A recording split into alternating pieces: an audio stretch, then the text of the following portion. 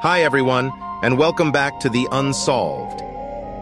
Today, we're going to explore one of the greatest mysteries of the Amazon jungle, the lost city of Z.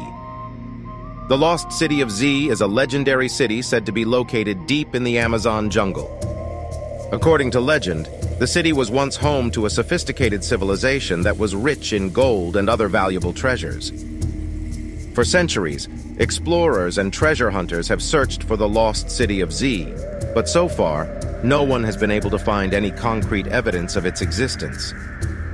Despite this, the legend of the lost city of Z continues to captivate the imagination of people all over the world. Over the years, there have been many expeditions and searches for the lost city of Z, but so far, all have been unsuccessful. One of the most famous expeditions was led by British explorer Percy Fawcett, who disappeared in the Amazon jungle in 1925 while searching for the city. Despite the danger and difficulty of searching for the lost city of Z, people continue to be drawn to the mystery and the potential for treasure.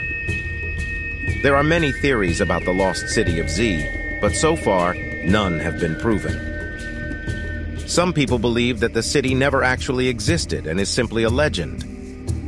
Others believe that the city was real but that it was destroyed by disease, war, or some other catastrophic event. There are also theories that the city was never in the Amazon jungle at all, but was instead located in another part of South America, or even in Africa.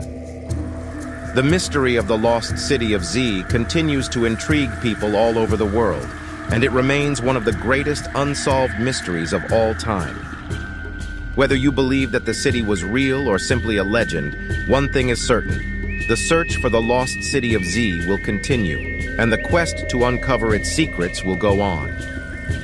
Thanks for watching this episode of The Unsolved. Please like and subscribe, and join us next time as we explore another mystery from the past. And if you have any thoughts or theories about the lost city of Z, let us know in the comments below.